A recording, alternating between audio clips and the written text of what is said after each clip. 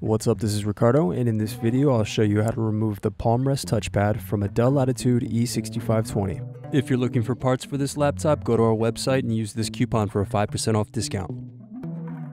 Slide release latches and remove the battery. Now use fingers to carefully separate and remove LCD bezel.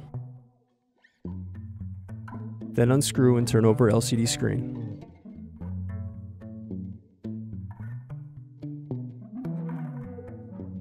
Now disconnect LCD cable and remove screen.